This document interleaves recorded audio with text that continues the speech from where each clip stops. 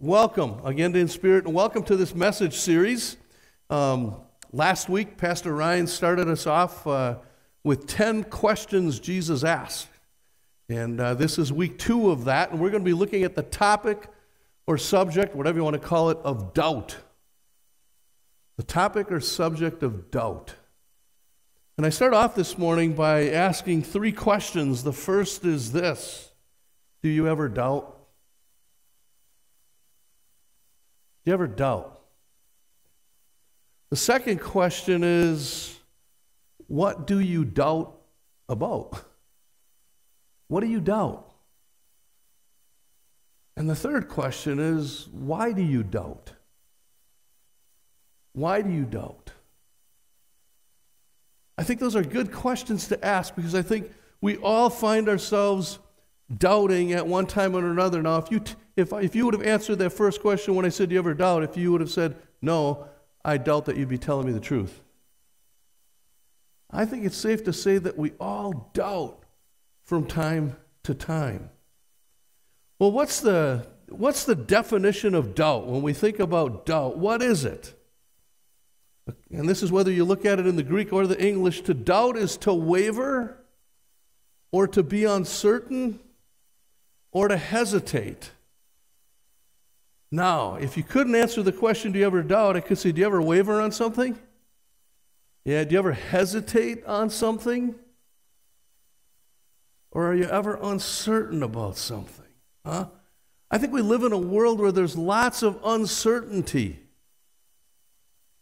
You know, in my prayer this morning, and I talked about the, the news, and I didn't realize what happened in Israel last night until uh, I was standing by the, the coffee stand out there this morning and I was made aware of it. And usually I check the news in the morning. This morning I didn't. I went to bed early last night and I didn't check it this morning. I know that yesterday there was the, the, the, the thought or you know kind of the thing that said, hey, they're going to attack. And I, I, I, right? The bottom line is you look at that now and you say, how is this, how is this going to end, right? What's it going to look like? Is there ever going to be peace? When Scripture says there's going to be wars and rumors of wars, and we prayed for war to stop, it's easy for my human brain to say, I doubt it. When we look at solutions, we sort of hesitate and say, this didn't work, that didn't work, because those things didn't work, what is going to work, right?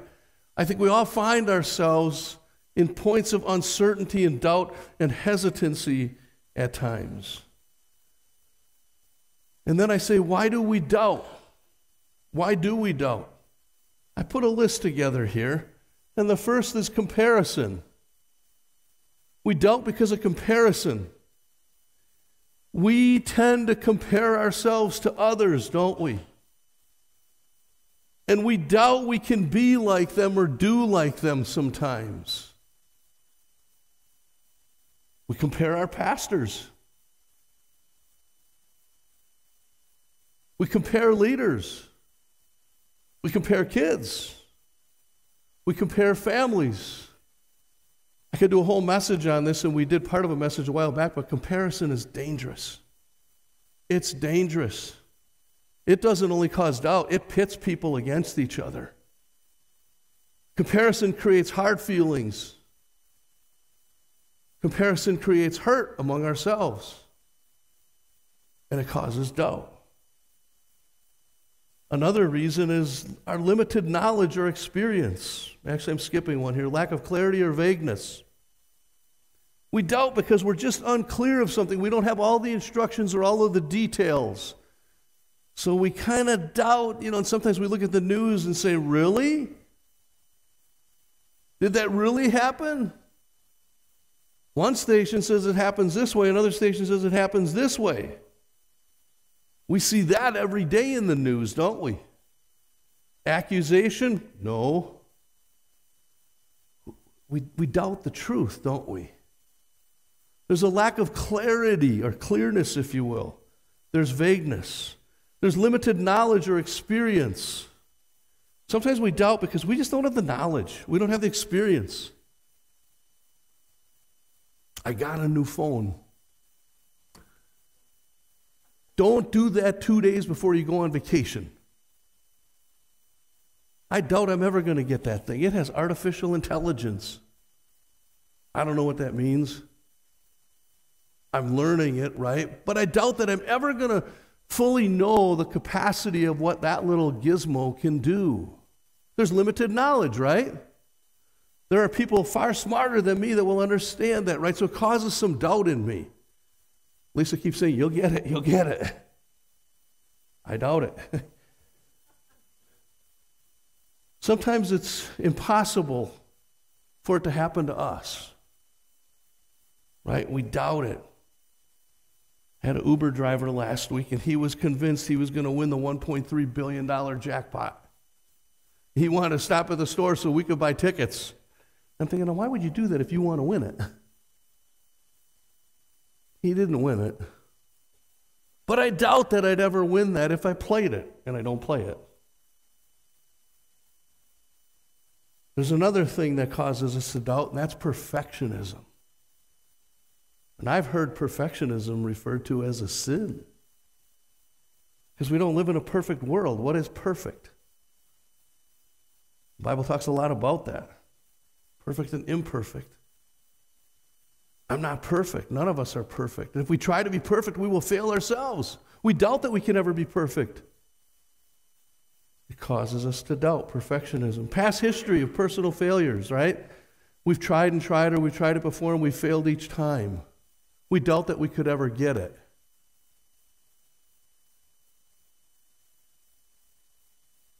Past history of others failing us. Sometimes we don't trust people. We doubt we can trust them because they haven't followed through on their commitments. They, in some way or other, have failed us, and it causes us to doubt. And that leads me to the last one the trust factor. We've been lied to or hurt by others. We just doubt credibility, don't we? Have we all been there? Only two of you? Of course, we've all been there, right? We doubt sometimes, and there's a number of things that revolve around doubt. But what happens when we doubt? Well, we tend to give up hope when we doubt. We tend to just give it up. I doubt it, so when it could happen, we give up hope, right? Second, we think of worst case scenarios. You ever run that through your mind? I do that all the time. Something's wrong, and I think, oh no, that's going to lead to this, and that's going to lead to this, and that's going to lead to less, and it's going to be a train wreck. That's how the devil works, doesn't he? The devil works in doubt. Gets our minds just to stirring. And then the last one is we lose belief. And we often just give up and fail. We just don't believe it's going to happen or it's not true, and we just sort of give up and we find ourselves failing. And that just leads to disappointment, right? And depression, and on and on and on and on. Doubt is a serious thing. But what about spiritual doubt? We've talked about the war, we've talked about technology, we've talked about a number of things here, right? But what about spiritual doubt? As Christians, why do we doubt God's promises? And I'm preaching to myself this morning, along with all of you. Why do we doubt God's promises? When God says, I will be with you. I will carry you. I will give you hope. I am doing things for your good. This adversity you're facing is refining you, it's strengthening your faith, it's getting you ready for a future in heaven. Why do we doubt God when we're in a mess that God can fix it? It's one thing to doubt worldly things. But it's another thing to have spiritual doubt in a God who is faithful. Why do we doubt? It's a good question, isn't it? Because I think if I asked you to raise your hand, if you ever had spiritual doubt, where's God? Where's God in my problem? Is God really going to be faithful to this promise? We doubt. Why do we doubt? I'd like to say because I'm human because it's part of my human nature, because I don't know it all and I want the answers. And I'm dealing with it right now. And I, I, God, I can't wait till here. I, I, I need answers now. And we tend to doubt when we don't get to know right away, do we? God, I know you have this greater plan above and it's all mapped out, but I'm here down below trying to figure it out. We doubt because we don't know it all. And I dare say that maybe we doubt because even though we say we trust God, do we really trust Him?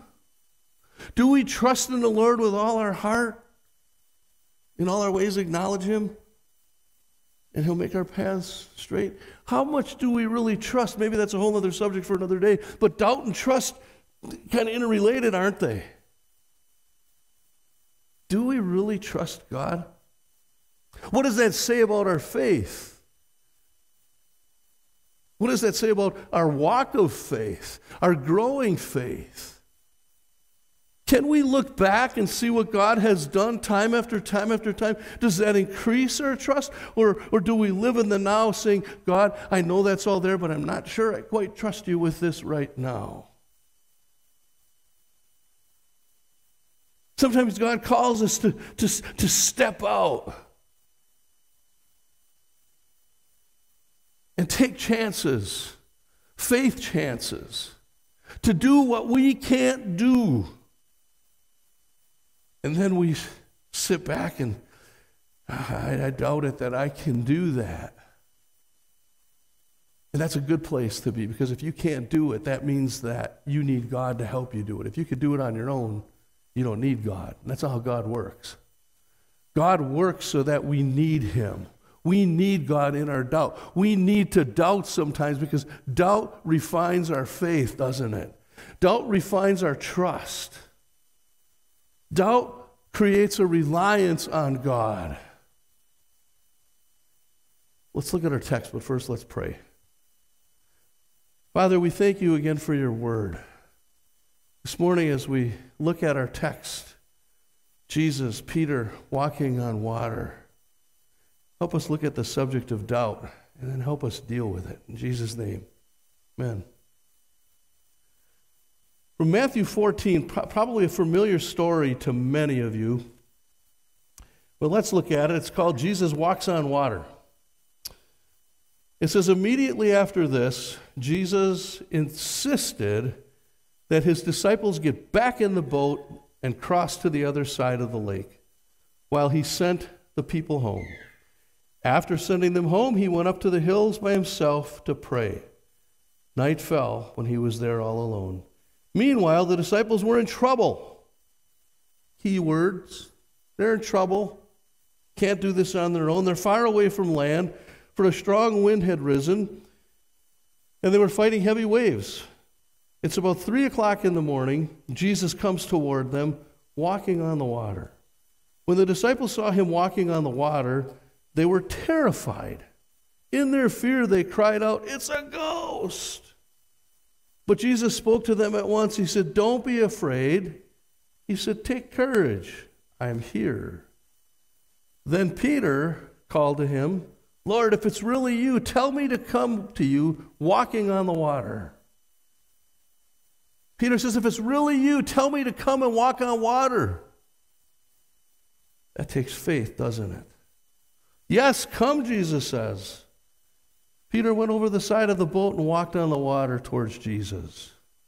But when he saw the strong wind and the waves, he was terrified and he began to sink. Save me, Lord, he shouted. Jesus immediately reached out his hand and grabbed him. You have so little faith, Jesus said. Why did you doubt me? When they climbed back into the boat, the wind stopped. Then the disciples worshiped him. You really are the Son of God, they exclaimed. Well, who did they think he was? Right?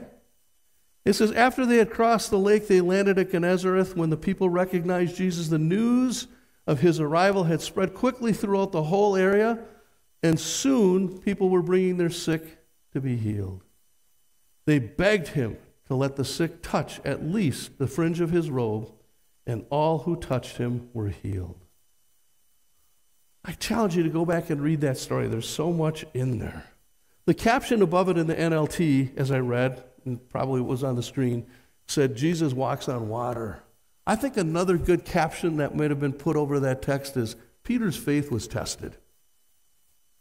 This isn't just about Jesus walking on water. We know who Jesus is. We might expect Jesus to be able to walk on water because we've seen the history of all his other miracles. It shouldn't have been a surprise when Jesus was walking on water. But it's a huge surprise when Peter says, Hey, if it's really you, let me come out of the boat, let me walk on water. That's a matter of doubt, faith, and trust. Peter's faith was tested. Peter jumps out of the boat. Well, didn't say jumped. He got over the side of the boat, it says, and he starts walking. Just imagine doing that. He saw Jesus. He knew it was Jesus walking on the water. He said, Lord. Okay, there's a whole message there. This is his Lord whom he followed as a disciple. Lord, if it's really you, let me come to you. Let me walk on the water and come to you. And Jesus says, Come on. What you going to do, Peter? Peter gets over the side of the boat and he starts walking to Jesus. But when Peter started focusing on the wind and the waves and took his eyes off of Jesus, when fear and doubt stepped in or crept in, Peter starts sinking, didn't he? Peter had sinking thinking. Peter's doubt overcame his trust and his faith. Peter started drowning, if you will, or sinking. Peter steps out with good intentions. And all of a sudden, Peter starts sinking when he focuses on the world, he takes his eyes off. And he allowed his fear to take over, didn't he? Doubt, this is important. Doubt prevents us from doing or experiencing the best, even the impossible. Let that sink in. Doubt prevents us from doing or experiencing the impossible, doesn't it? What if Peter would have doubted when he was sitting in the boat? I'm not going to even ask because I know I can't walk on water. Peter asked, and Jesus said, Come. Do you realize Peter was the only other person that walked on water? Did the others not trust and say, Hey, let us do this too? What was their level of faith? I think they had a lot of doubt, just like us, because they said, Now we know it's really you, Jesus. Were they not thinking it was him to begin with? If you look at the construction of the text, if you will, when Peter asks, Lord, let me come to you, they know it's him. But yet, after Peter walks on the water and starts sinking, Jesus reaches out his hand. Peter, they, Jesus grabs the hand. They, they lock hands. Peter starts coming up out of the water. And then the disciples say, Now we know it's really you. Sometimes it takes us a while to realize it's really God, isn't it? Sometimes it takes us to sink to realize it's God who's carrying us, isn't it? It's God who's walking with us, taking us through it. We're human. We tend to doubt. Peter wasn't putting Jesus to the test when he said, Lord, if it's you, let me come to you. Peter was really putting his faith to the test. He was putting his faith to the test. And Peter experienced an unusual, a highly unusual miracle like none other, but it was an example of God's faithfulness and power in Peter's life. If Peter wouldn't have stepped out, he wouldn't have experienced it, would he? Sometimes I wonder, and this is a side note here in my, in my, my, my message, but sometimes I wonder how much of life are we missing because we're not willing to step out of our comfort zone? How much more does God have planned for you and I that we just say, we can't do it?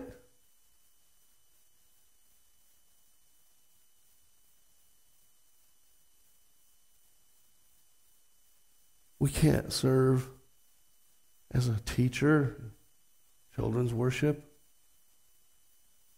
We can't pray in front of people. And sometimes I think we've been sitting in church for all these years and we can't pray in front of somebody. What are we even doing? We got to go back to that series on the Holy Spirit. That, that series just keeps coming back to me. I'm going to repreach that this summer, not here, but somewhere else. Because I think that when you got to step out of the boat, you got to embrace the power of the Holy Spirit. We too often say no to God instead of saying, Yes, God, let's see what you can do and I can do when we work together, when we step out in faith. Made the comment earlier we have a big ministry team meeting tomorrow night, and I'm going to challenge us to step out in faith. Peter, the disciple who walked on water, probably the most difficult disciple that Jesus had to work with. Peter denied him, betrayed him, walked away from him. And yet Jesus says, On this rock, Petros, Peter, I will build my church. On a person who doubted and, and, and failed Jesus time after time, Jesus said, I'm going to take that person, that, that weak person who has failed me, and I'm going to build the church of Jesus Christ on him. Just imagine what he can do with us if we step out in faith. I just think He wants so much more from us. You know, we, we, we, we, we took vacation for, for a week and I wrestled a lot. God, what do you want with me? I'm being honest with you. What do you want with me with the years I have left? You didn't give me a second chance after an accident. You didn't give me a, a, a, third chance after a kidney transplant and gave me health so I could sit back. What do you want? Let's go, Lord. What does God want with you that you think you can't do? But you can if you have faith like a mustard seed. Say to this mountain, move, and it'll move. Our human nature wants to doubt. And the devil wants you to doubt. And God wants you and I to step out in faith. He doesn't call us to be comfortable, He calls us to be holy. The question is, what is His call? Huh? What is His call? And then the question is, how are you and I going to respond? Huh? Peter didn't fail. Peter was human. Peter was putting faith to the test, and God was refining him. God refines us through adversity. God refines us through the impossible. God refines us through the difficulties. If life were simple and smooth, what fun would that be? Life in Jamaica happens for a week. Then it comes back to Jamaican a living. Huh? In this world you will have trouble. John 16, 33, Jesus says.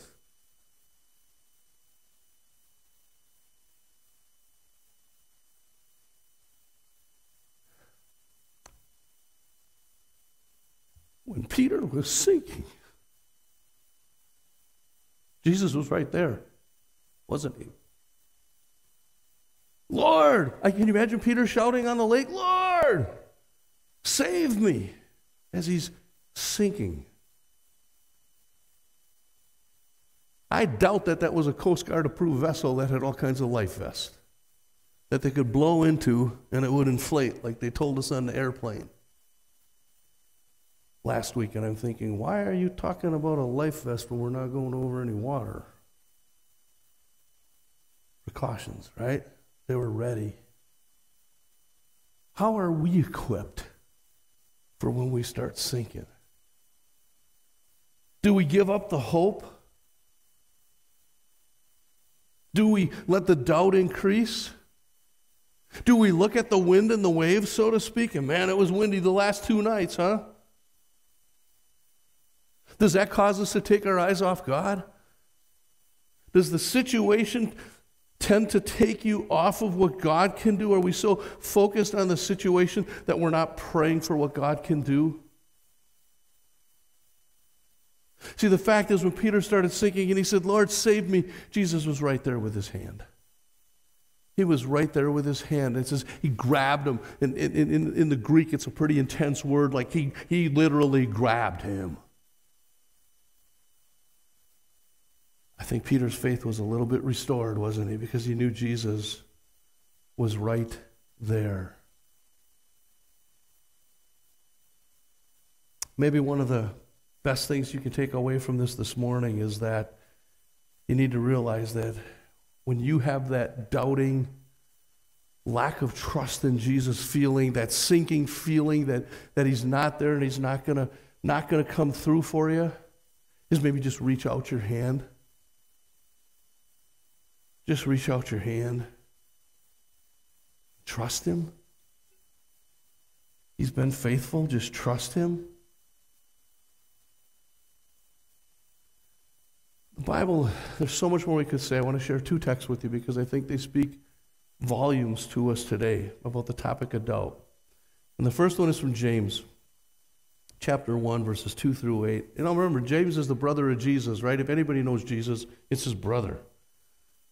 It says this Consider it pure joy, my brothers and sisters, whenever you face trials of many kinds. Because you know that the testing of your faith produces perseverance. Let perseverance finish its walk or its work so that you may be mature and complete, not lacking anything. See, what that's saying is when you're going through difficult times, God is using it to do something to you and through you.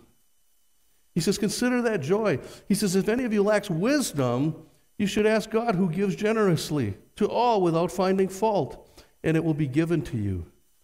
But when you ask, you must believe and not doubt, because the one who doubts is like a wave on the sea, blown and tossed by the wind. That person should not experience to receive anything from the Lord. Such a person is double minded and unstable in all they do. Doubt. The second is from John 20, and it's Jesus' appearance to Thomas. This too is a uh, probably a familiar text to many. It says, Now Thomas, also known as Didymus, one of the twelve, was with the disciples when Jesus came. So the other disciples told him, We have seen the Lord. And picture that. They're all together. Thomas hadn't seen him, but the others said, We've seen him.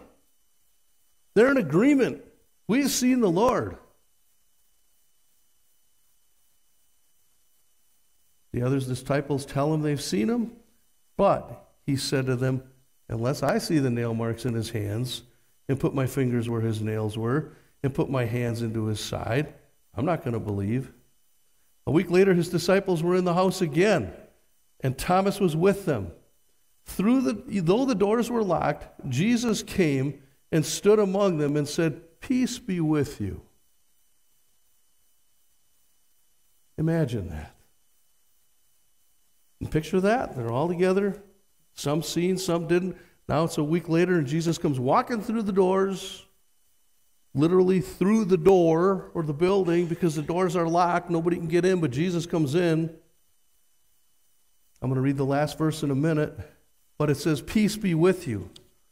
Jesus says to them, Peace be with you. Why do you think Jesus said to them, Peace be with you? Because they were pretty unsettled, they were hesitant. There was doubt, wasn't there? Jesus knew their doubt. And he says, Peace be with you. Well, how do you and I have peace in the middle of our doubt? I'm going to suggest three quick things. First of all, is read and know your Bible. If you want to get to know God and His promises, read and know your Bible. Understand it.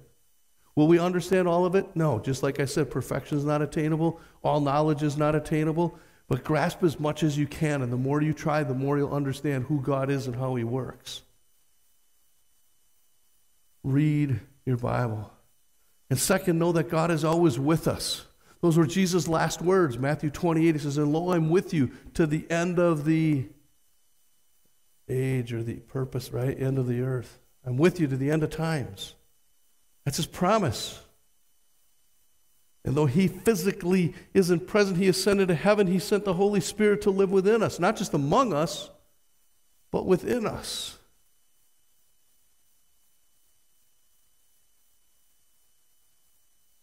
And the third is believe in the power of prayer. Don't stop praying. You know, earlier in my prayer, we gave thanks for the fact that Devin, Joe and Sherry's grandson, is home from the hospital. That little kid, child, was sick, really sick. You know, Pastor Ryan put out a prayer request while I was gone. And he had RSV, and my understanding was in Children's Hospital, he had tubes and everything in him. It wasn't a bright picture. But the family said, We believe in the power of prayer, and they enlisted an army of prayer warriors. And they talked about the prayers of the people from this church. There was belief in the power of prayer. Do you know what? The next day, the tubes could come out of that little guy, and a few days later, he went home. I don't know about you, but that's God's presence. That's God's hand reaching when we're sinking. That's God's hand reaching when we're praying, saying, Lord, save us. Read your Bible, know He's with you, and pray. That's how we deal with doubt. I read John 20, those first verses, but this is the challenge I leave with you this morning. Verse 27. After Jesus, or after Thomas is still doubting, the disciple said, We've seen him. Thomas says, I ain't going to believe it till I see his nail hand, hand, holes in his hands, right from the nails. I'm not going to believe it till I see the hole in his side. You guys are just kidding me. The text ends this way Jesus said to Thomas, Put your finger here. See my hands. Reach out your hand. Reach out your hand. Put it in my side. And stop doubting and believe. Amen? Let's pray. God, we know you are good. Proof of that is Jesus coming to die for us. And Lord, yet we're human. We have worldly doubts, we have spiritual doubts. This morning, may this be a good reminder that even in our doubt, you tell us to stop doubting, but our human nature leaves us often doubting. Lord, help us with that doubt. Help us to know your promises. Help us to know that you are right there for us, willing to pick us up, to do what we can't do, to step out in faith, to step out of the boat. Lord, help us understand what you are calling us to, to do what we can't do on our own. That's what you call us to. And then to stop doubting it. Just get on with it and do it and believe. In Jesus' name, amen.